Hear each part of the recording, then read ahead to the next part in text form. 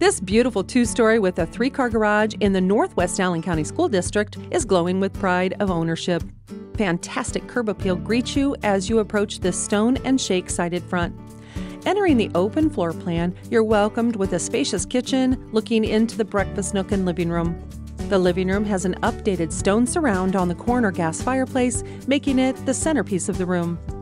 Enjoy the trendy slate appliances that remain with the home. Look no further for your large master bedroom, including a walk in closet, as well as an ensuite bathroom with double vanities and tub and shower. The upper level has a flex space that could be used for a family room, office, or playroom. In addition, there are three bedrooms and a full bath. The backyard is level and fenced and ready for summer fun. To fully enjoy your new home, you can relax on the patio or stroll along the sidewalk of the cul de sac street. The three car garage has a charging station and great storage space.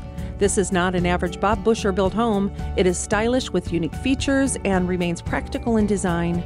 This location offers quick access to anywhere you need to go the hospitals, highways, shopping, and entertainment. Schedule your showing with Katie Brown today.